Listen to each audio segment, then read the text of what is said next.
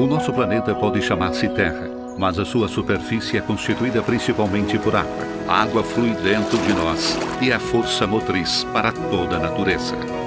A água é alimentação, prosperidade, energia, vida.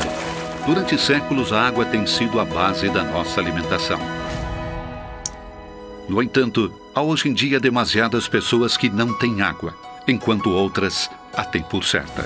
Urbanização rápida, crescimento econômico e demográfico, alterações climáticas estão a exercer pressão sobre os recursos hídricos. O que consumimos e a forma como produzimos afetam a disponibilidade e a qualidade da água. Transformando os sistemas alimentares, podemos melhorar a eficiência hídrica e proteger os nossos oceanos e cursos de água.